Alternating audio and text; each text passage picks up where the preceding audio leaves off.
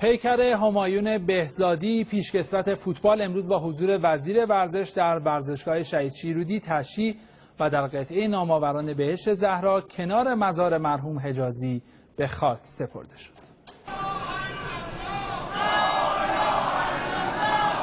خیلی متاسفیم که باید توی این مراسم ها دور هم جمع بشیم یکی یکی اسطوره های خودمون رو از دست بدیم. من جا داره تسلیت بگم به جامعه فوتبال. حالا باشگاه پرسپولیس